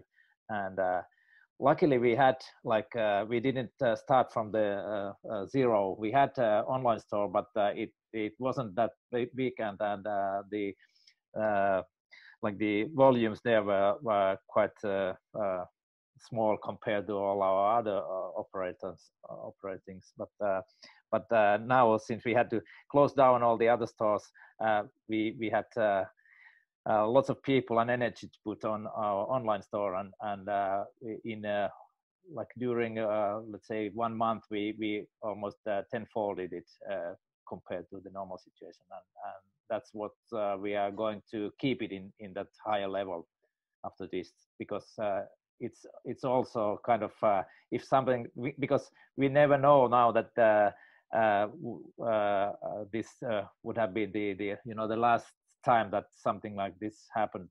Of course maybe governments and, and companies and people in general they would be more prepared for for situations like this but still uh, uh, if something even uh, uh, remote similar than this happens uh, in the future it's it's good to have uh, different channels like multi channels or omni channel ways to to put your reusable goods on the market Okay, so you you could read you can recommend it to to other reuse initiatives to do the same to develop uh, this these online stores. Of of course, of course, and uh, that's uh, like uh, uh, I think it, it, was in Austria. Like they they emphasize uh, or or in in the presentation about the mobile and, and digital things and and that's that's and what we have found out that in in our normal stores that it's uh, well a little bit tricky to get uh, young people to visit there but uh, that's one way to to use the social media media and and uh, you know mobile phones and all kind of things or digital gadgets to to to to uh, get the uh, younger generations to learn to use the services Okay, thank you. Thank you, Juha. So uh, probably we can generate a new project altogether for the next uh, structural fund period um, uh, dealing with uh, this subject, uh, creating online stores or whatever to, to, to give uh, more power to this new media um, and, and sales, online sales. So probably um, this could work. But Zala, I, I want to ask you, as you are Uh-huh. Yes, the same question. Manager. Do you think that? Uh, so, yeah, it's nearly the same question. Do you think uh, that this COVID crisis will uh, have uh, any impact uh, on, on real changes towards uh, circular economy, or do you think that um, fuel will be expensive again and everything works like in the past? Um, um, well, I think that it's not uh, only up to COVID-19, but in general, you know, we, we, we have, the fact is that we have limited resources. So we have to change our habits uh, with or without the, uh, the COVID. So I think that uh, reuse, reuse centers, online shopping, of course, uh, it's a great opportunity. And I would, of course, uh, encourage, you know, especially maybe SMEs to do it. Uh, but from the city point of view, I think that uh, in Ljubljana, uh, we are really working on uh, changing our mindset. You know, we think that we, the decision makers, have to be the role model for our citizens. If we will not uh, learn how uh, buy and make decisions differently, then the people will not follow. So in uh, within the, for example, in our city uh, administration, we are uh, already setting up in-kind uh, catalog of, of uh, different locally produced uh, gadgets um, made of no no no plastic and so on. And we are this year we are introducing a new pilot, setting up exchange shelves within the um, offices so it is meant for the employees only so that uh, you know if you have something that is still useful and you don't want to throw it away you will just uh, bring it to your office leave it on the shelf and somebody else can uh, take it. So you know we are really um, educating all the employees uh, of this importance of, of uh, reuse uh, we are also starting uh, uh, uh, a new um, project of um, reusing the worn-off uh, office equipment.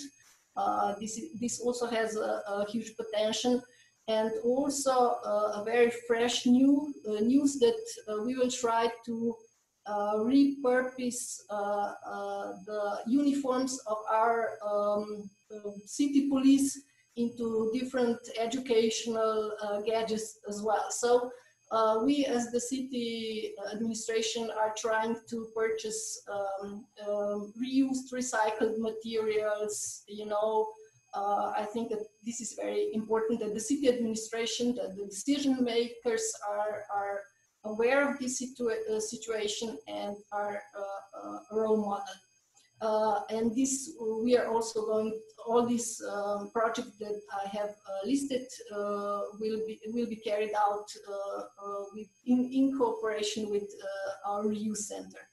And the second part that we are work we are working on, and it is also very important, is of course working with our citizens. So we have just introduced um, a circular tip, um, a, a, new um, a new topic into our local magazine, uh, which is distributed to all uh, city households. Uh, we have more than 110,000 of them.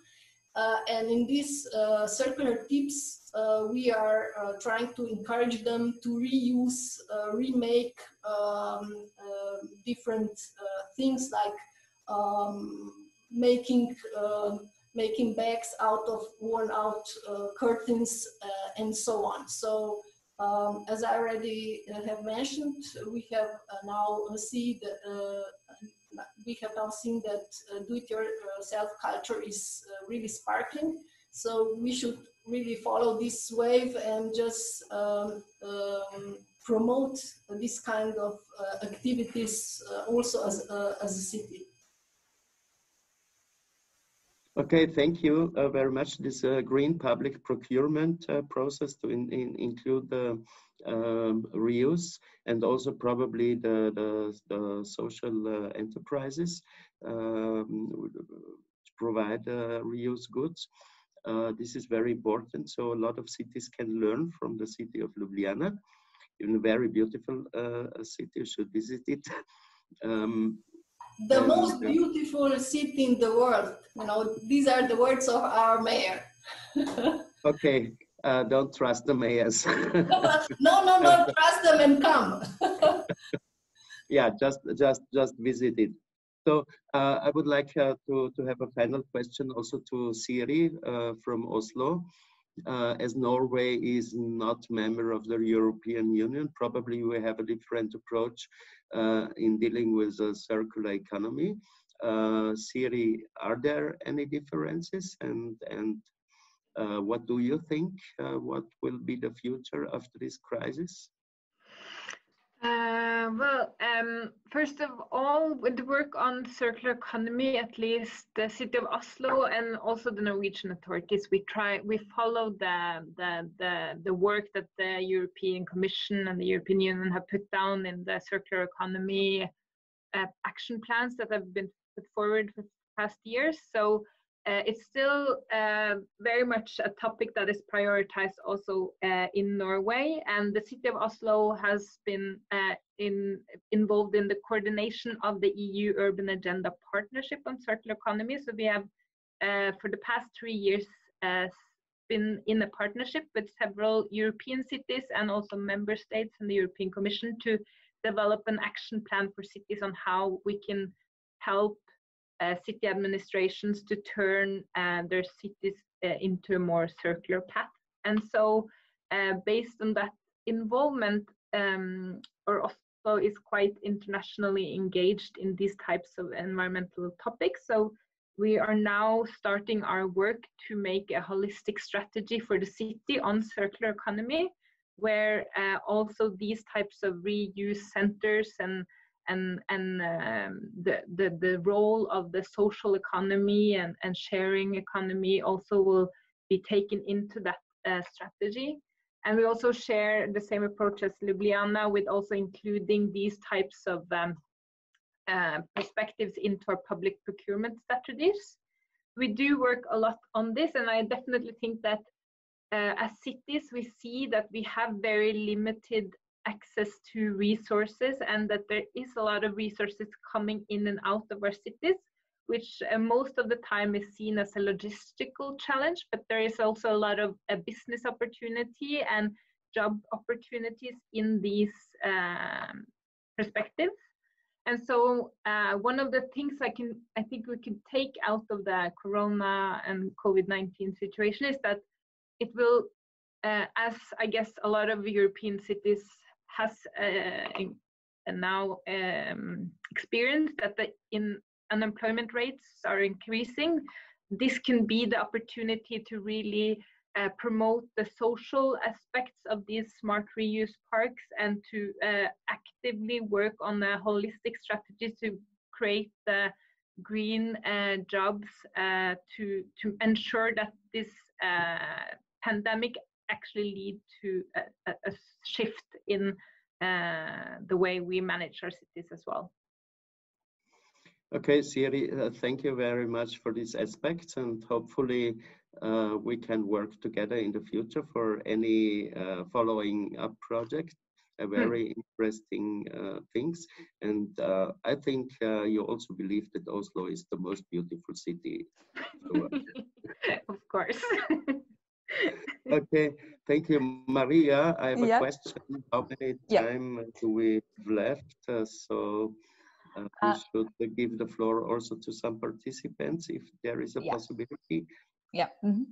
Uh, I would also uh, go now to the, the slide with the question from the audience, and we have received a few actually from uh, from the audience. Some of them we have tried to answer already with the with the chat function. Um, but for example, I will just read out. I don't know if you see here my chat window now on the screen that I share, but Sepp Eisenriegler from Austria, he asks, I wonder why nobody from the panelists has mentioned EU regulatory policy, which makes me optimistic, also concerning reuse.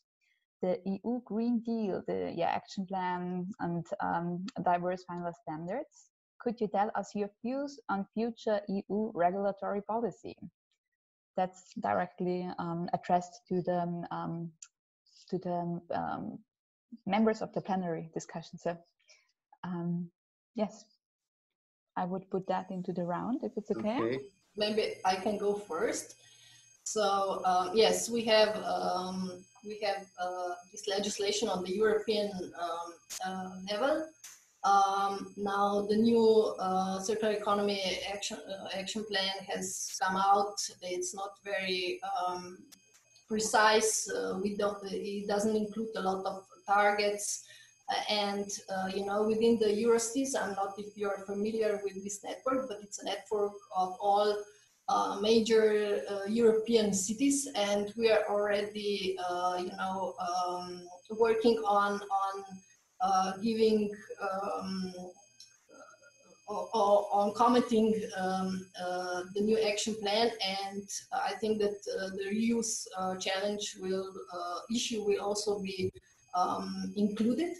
But based on the um, in my opinion, uh, in my opinion, what is uh, one of the shortcomings of these um, action plans on the European uh, level.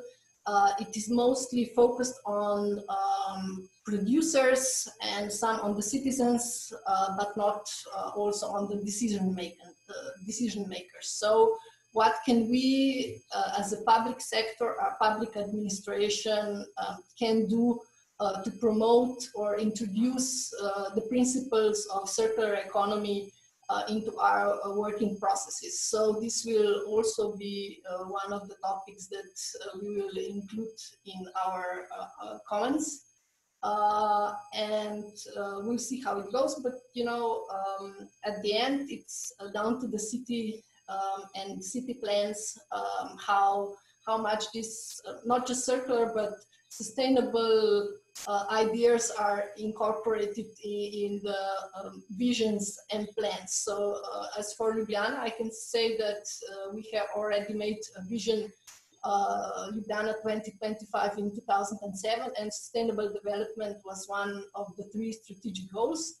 Uh, and based on this vision, we have already carried out more than 2,200 um, uh, projects and uh, we were, as you probably know, the European uh, Green Capital in 2016 and in 2014 we were the first European capital to be part of the zero waste network. So um, waste prevention, reuse, um, recycling is a, a priority uh, for Ljubljana.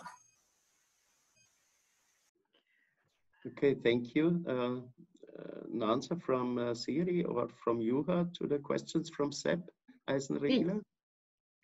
I just uh, want to, yeah, support or add to the, the question on the waste regulatory framework that um, this has been a challenge that we have tried to address both, as Zala mentioned in the Eurocities uh, work, that Oslo is also involved with on, on waste, and and also through the Urban Agenda Partnership on Circular Economy, we had one specific action on how we could uh, change the regulatory framework from a waste uh, framework to more resource management framework. So the partnership has developed a booklet that we just released today actually on uh, the partnership's approach to uh, the future of waste legislation. Um, I can share this with you later. And also this is one of the, the challenges that we've taken forward also into the URBACT action planning network that Oslo is part of called Resourceful Cities that we will try to, in our work with uh, developing um, types of reuse uh, uh, services, also identify where we face challenges when it comes to the Waste Framework Directive and also uh, other uh, types of um, issues. So uh, it's definitely something that we are aware of, but we also, uh, as cities, have managed to find some local approaches to uh, make sure that we are within the framework, but also can uh, have reuse activities and, and work around some of the barriers that are there. Okay, th uh, thank you very much, Siri. Um, uh, the cities in, in Europe, uh, they can have a, a, really big impact on, on um, developing this circular economy if we have the political decision uh, from the political uh, players. It, it's not so easy sometimes, but due to this climate change, it will become very hot in our cities. So uh, hopefully things will uh, go as fast as with the pandemic uh, of COVID-19, also with the climate change, the, the political decisions. So uh, Juha, do you have an, an final um, aspects uh, to the questions from, from SEP? Uh, well, as I'm re representing a local operator, I'm not so deep involved with the, the legislative aspects. But uh, but uh, uh, right uh, just now uh, the the uh, Finnish government they they made a, a, proposition of of the national waste law in Finland, the new law, and well, I think uh, from the uh, historical uh, reasons, because there have been lots of discussions and fights between the about the waste transport uh, between the, the public sector and the private uh, waste uh, uh management companies. And uh, so that's the main uh, issue in, in this, let's say, this round of, of the, the legislation. So they, the, the new law, it doesn't tell a whole lot about about the reuse and, and how it's, it's should be you know, uh, put in a, uh, perspective. But uh, but I, I, I share the view that there are some promising promising headlines in in in European level, but it it's seems to me that it's not going to happen right now in Finland. But uh, but what I heard that uh, they are going to make a next uh, round of, of changes in, in that law, maybe in the you know end of this year or beginning of next year so hopefully uh, in in that uh, uh, that time there would be some changes in, in in this this way also thank you Juha. i think uh, there will be changes because uh, they have such a wonderful uh, good practice like Tierretis Keskus. so hopefully things will go faster. Um, so I, would like to thank our reuse experts for this group. Maria, do we have any other questions or do we do we have time to answer another one or um, shall we close? The... I think we're we're nearly closing. It's just um, uh, I saw that Siri already. Um, thanks Siri for for sharing the booklet with us. Thanks to Andrea for your lovely comment from Research Burgenland Austria. I shortly want to answer here the, um, the question from uh, Rike uh, of, uh, from Denmark, Aalborg University. She asked, how did you make the cut between reuse as a prevention initiative versus uh, reuse as a preparation for reuse activity inside our project? Just a short um, answer. we will come back to that uh, also on Thursday. Um, we kind of divided it reuse for prevention into awareness raising activities and campaigns, education and trainings that we performed, and um, reuse activities in terms of preparation for reuse, were more the practical um, implementation of our pilots, where the, for example, at the recycling center, uh, you have then to um, um I say report the, the amounts of the waste prepared for, re, for reuse and recycling with a certain European waste uh, code uh, in the different national reporting tools. So that's that's a first uh, quick answer to that, but we can you can come back uh, to me uh, for a more detailed answer. And I think there's only one question that I would uh, shortly like to put into the round, or more to you, Bertel, because Markus Meisner from, from Austria, he asked, is there a region where the reuse deficit is covered by public waste management fees? And if so, what were the core arguments to convince the community to accept that? So um, I think that's a question if in our consortium, is there a country where uh, the, the, financial effort uh, for reuse activities is covered already with a fixed fee uh, of public waste management fee? Um, I hope I understood it right, Marcus. Um, yeah, um, I can say that uh, this is a very important question because uh, the preparation for reuse is part of uh, the whole uh, waste management, uh, and therefore uh, it's um, it's logic that measures um, which make or which which have costs must be included into this waste management fee. And as I guess, uh, ZAK, ZAK is a very important um, example for that because they said, uh, as a waste management association, uh, reuse uh, and the preparation for reuse is a legal um, effort and, and the aspect we have to do as a waste management association. And therefore, uh, even if their costs arise, we would invest it. So as I spoke uh, the last time with the manager of, of the ZAK uh, company, Kempten, uh, he said, okay, they want to put more money into this aspect and they will collect it uh, through the, the waste management fee. And this is very important because uh, in Austria, we have very often the situation that uh, the, the decision makers, the, the mayors and the managers of the waste management association very often say, okay, you can uh, uh, do reuse as much as you want, but uh, it shouldn't cost anything. That's that's not the point because if you collect bio waste, it costs a lot, and if you do measures for uh, pre uh, preparation for reuse, it's also logic that that the cost should be taken um, or certain costs should be taken uh, from the waste management fee. So um, I think uh, this this uh, you said this was the last yes. question. Yes.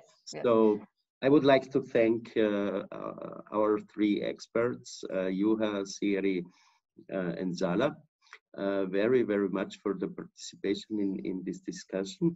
And hopefully we will have any future collaboration with, uh, with these um, uh, members from, from the cities Ljubljana, Oslo, and Helsinki. Um, and uh, yeah, thank you very much for, for your uh, input and, and have a good day. And hopefully we will see on Thursday again.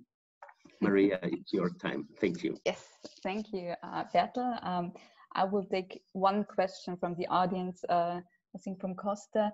Uh, to my conclusions, um, he asked whether we identified key differences between the reuse parks among uh, the, the, project countries. But first, let me say that um, this week for our two webinars, we have more than 150 um, people that signed up for the two webinars. Uh, they are coming from more than 25 different countries uh, and from different bodies, from public, private organization, NGOs, research, and so on. And I think this is a very um, great sign um, of the importance uh, and relevance of the topic of reuse and, and circular economy a, as a, a, larger frame.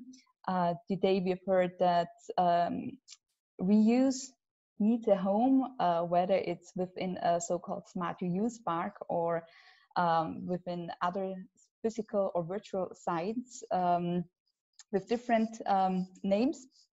Um, I think what is important is that we saw uh, that um, the stakeholders uh, need certain um, legal and and um, a, framework that gives them uh, the opportunity and the security uh, that they can be active.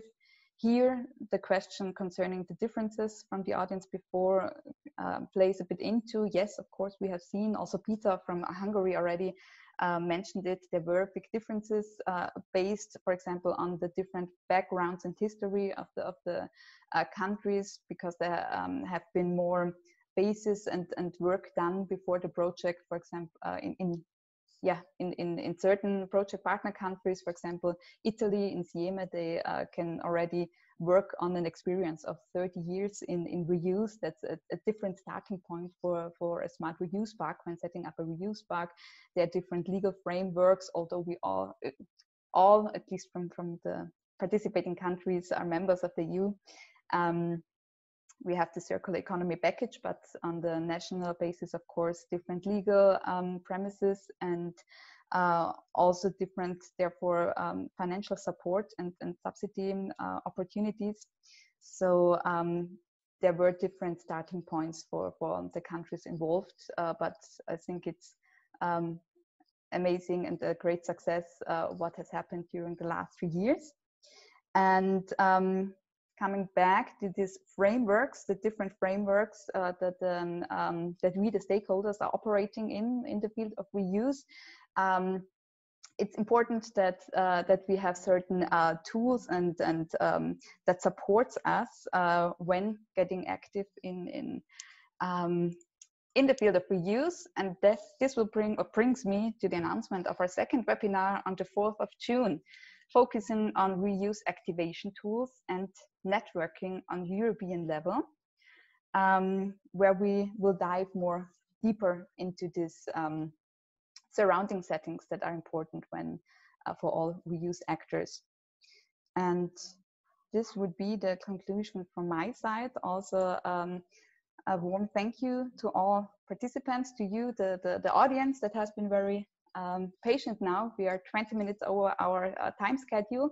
Thanks for staying with us so long, and thanks again for all the presenters for being with us today and for your uh, yeah valuable inputs. And Uh, I, have, I herewith say thank you for your attention and participation, and hopefully see you on Thursday.